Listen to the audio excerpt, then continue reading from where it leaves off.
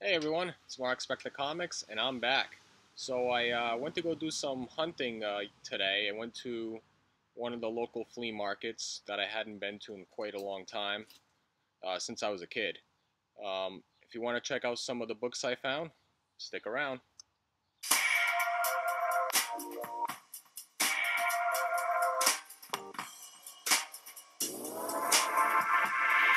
So I had a little neat thing I came up with this weekend. I wanted to reach out to some of my uh, local YouTube comic community uh, creators in the area.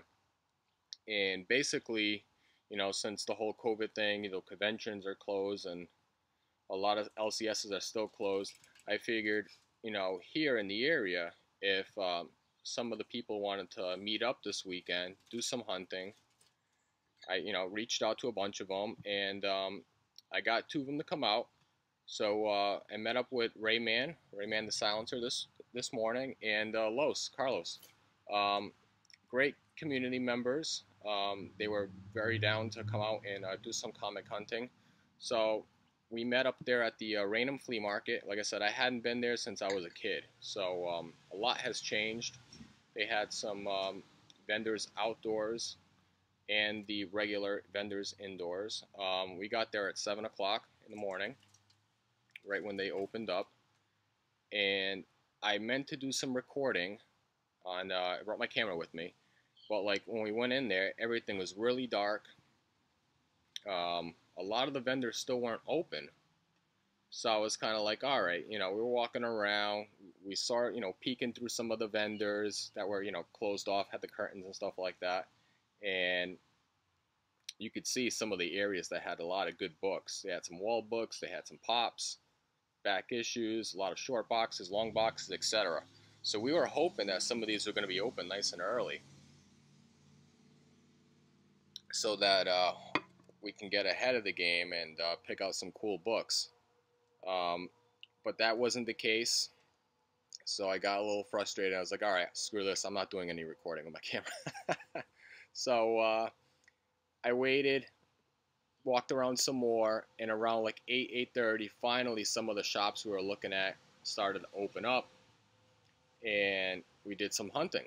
So um, it wasn't until we got to the last uh, like little shop there that the guy had some pretty good books. You know, dollar books, two dollar books, 40% off Silver Age, etc. So I ended up picking up six books. I only paid uh, seven bucks, which is pretty pretty sweet. And um, you know, the guys also picked up a lot of books. They picked up a lot more books. Uh, Carlos and Ray picked up a lot more books than I did, but it's all right. You know, I pick what I like, and um, they picked up a lot of good books. So stay tuned to their channels and watch to see what they got as well. I'll drop the uh, link down below. And uh, another thing I wanted to point out if you guys haven't already subscribed to the channel, make sure you do. I did a, a quick little report, put that right up, up top. Uh, last 28 days, 78% of people who've watched my channels, my you know my shows, episodes, and whatnot, have not subscribed. So make sure you subscribe to the channel. Helps me out. I want to get to 500 subscribers so I can do another big giveaway. So once I get closer to the 450 mark, there'll be more details on that. So uh, go through your links, check out Marc Spector Comics. If you haven't already, make sure you subscribe because there is that time that YouTube sometimes they play tricks on you and uh, you find out that you're not subscribed to a channel that you've been watching regularly. So uh, do me a favor, hit the subscribe, hit the thumbs up, and uh, share the content. All right, enough of that. You guys are here for the books, so uh, I'll show you the books that I picked up. Um, like I said, got some great deals. He he was doing some deals on dollar books. If you picked up, um, I think it was six dollar, six like single dollar books, you get it for five bucks. So uh, that was pretty sweet. So I got uh, first book is um, good old Bronze Age. This is Masters of Kung Fu, issue number 38. You see that was two dollars marked there. He uh, he marks them all in their little prices right on the top, which was nice. And some of them he actually graded in the back. He's, he said he was a pretty uh, tough grader, which looking at some of the books, I, I agree. So uh, this was um, cool little book, and obviously with the uh, Shang-Chi movie coming out next year, some of these key books, you never know if they're going to be uh, appearing in the movie, so I like to see these characters in here. I'm going to rebag and board all of these as well.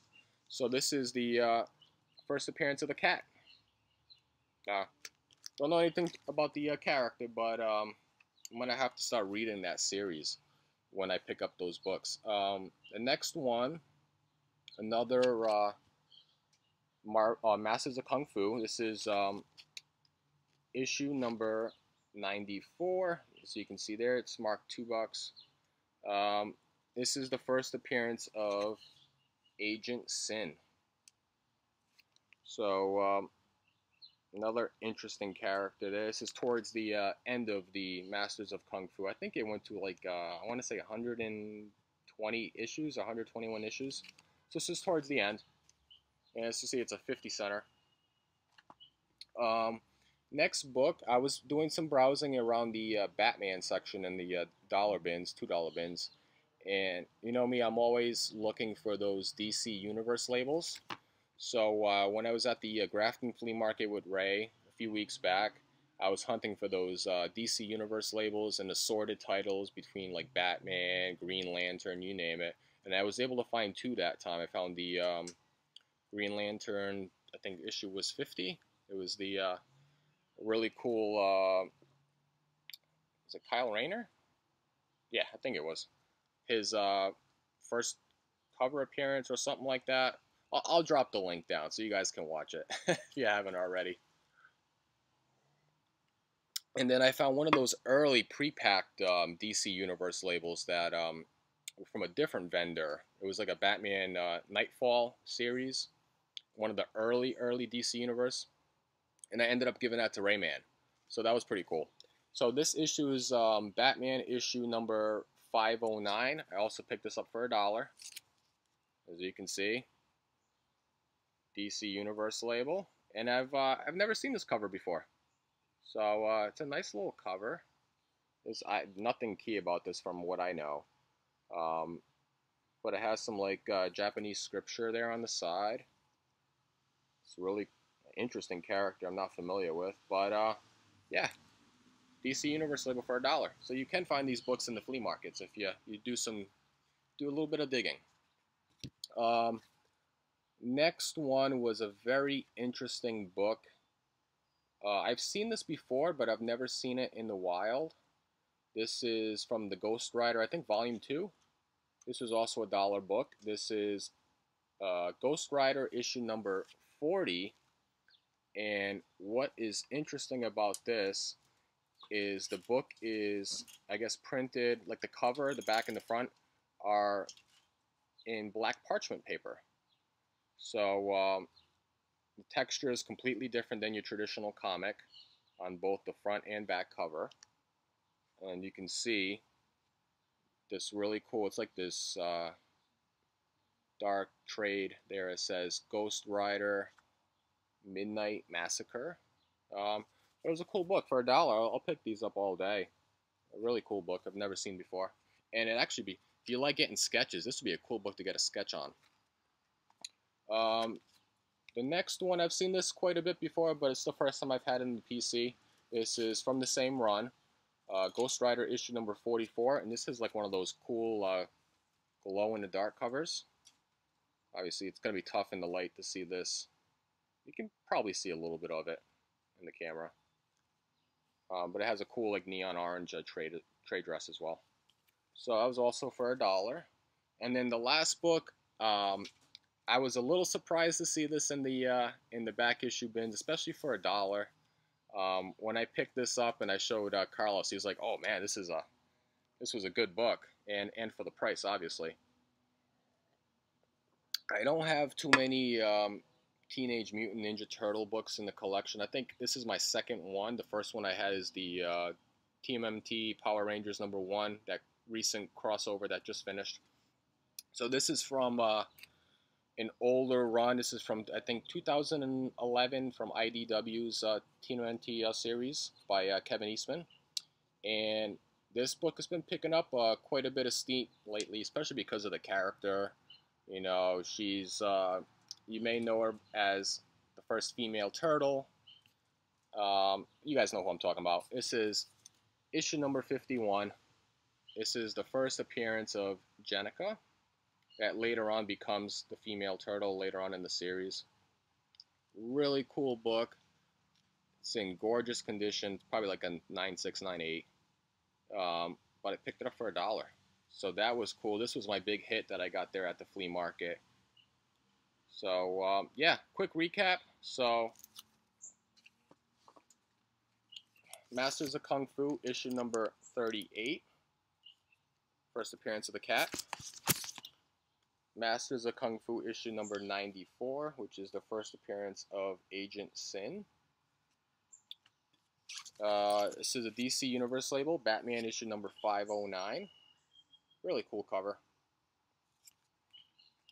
Ghost Rider issue number 40, which is that nice black parchment cover. Same same run, Ghost Rider number 44, that glow in the dark cover. And of course, TMNT issue number 51, first Jennika. So that's it, guys. That's all I picked up at the uh, flea market today. Um, and then what I did for uh, Rayman and and Los, I ended up giving them a cool little uh, care package, like an A-OK, just like a, a, thanks for coming out, you know, hanging out with me, sharing some stories while we were at the flea market. Um, check out for their uh, videos on that. Hopefully they like the books. I just threw a bunch of like random books in there that I have in the PC, so uh, I love giving back to the community because they've been very grateful to me. So uh, if you guys like the video, make sure you hit that like, subscribe, share the content. And uh, until next time, it's Marc Spector Comics. Out.